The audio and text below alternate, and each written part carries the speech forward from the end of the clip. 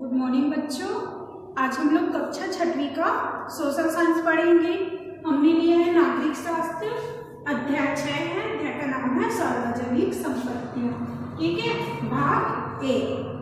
तो आज का हमारा टॉपिक है सार्वजनिक संपत्तियाँ से आशय, सार्वजनिक संपत्तियाँ कर संरक्षण सार्वजनिक संपत्ति, नाम से स्पष्ट हो रहा है, वह संपत्ति जिसका रख रखाव या रख रखाव किनके हाथों में होती है, सरकार के हाथों में होती है, जो सरकार द्वारा हमें सबके हित एवं सुविधा के लिए प्रदान की जाती है। इसमें केवल एक व्यक्ति का अधिकार नहीं होता, सभी व्यक्ति इसका समान रूप से उपयोग कर सकते हम सार्वजनिक संपत्तियाँ कहते हैं। जैसे रेल हो गया, बस हो गया, खेल का मैदान हो गया, स्कूल का मैदान हो गया, अस्पताल हो गया ग्रंथालय हो गए ये मंदिर हो गए, ये सब संपत्तियाँ क्या है? सार्वजनिक संपत्तियाँ हैं। ठीक है?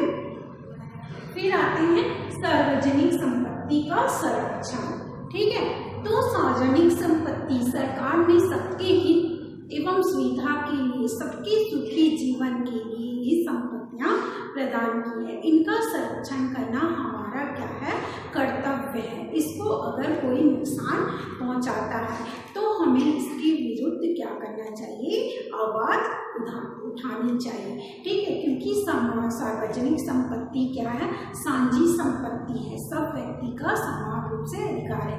और न ही कोई मनुष्य इस सार्वजनिक संपत्ति का दुरुपयोग कर सकता है, क्योंकि यह सब क्या सबके लिए समान अधिकार होता है। सभी मनुष्य इसमें बराबर रूप से क्या कर सकते हैं? भागीदारी ले सकते हैं, साथ ही बराबर रूप से इसका उपयोग कर सकते हैं, क्योंकि ये संपत्ति सरकार ने हमें सबके हित एवं सुविधा के लिए प्रदान किया था। इसका संरक्षण कराना, करना हमारा कर्तव्य है और हमारा कार्य भी।